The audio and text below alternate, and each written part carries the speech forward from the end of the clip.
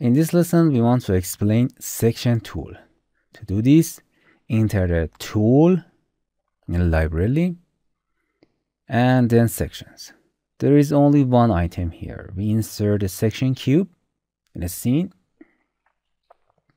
and put it in a desired place. You can move it with the translate tool anywhere. As you can see, this tool cut all geometries and you can see inside the building. Very beautiful. You can also rotate it with the rotate tool. An important tool is resize it with a scale tool. When you choose a scale, there are handles that you can use to change dimension of the cube as you can see. You can by clicking and dragging this handle to change the dimension of the cube okay. Going to settings. You can enable or disable this tool here. Enable. And in a color you can change the color effect that shows the cut location happen here. This effect is determined by thickness.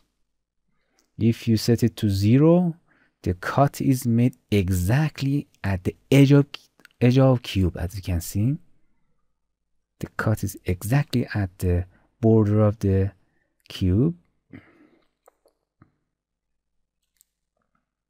But if you increase the number of thickness a little you can see that a little offset is appear here.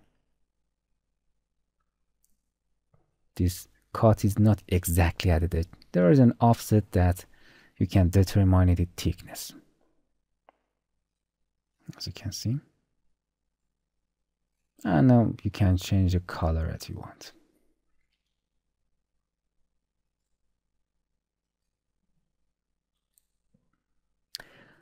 In invert you can reverse how to execute these tools.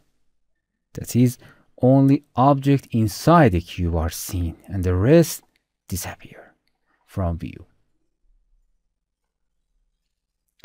In a clipping mask, which is both by default, you can specify whether it is tool cuts on geometries or point clouds, or both.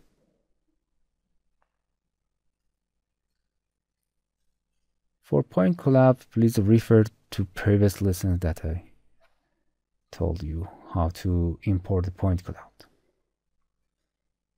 Okay, you can use this tool as many times as you want in a different places of the scene.